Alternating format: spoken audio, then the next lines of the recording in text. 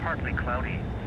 Highs in the upper 40s inland, but only in the mid 40s near the lake. Lows in the mid 30s.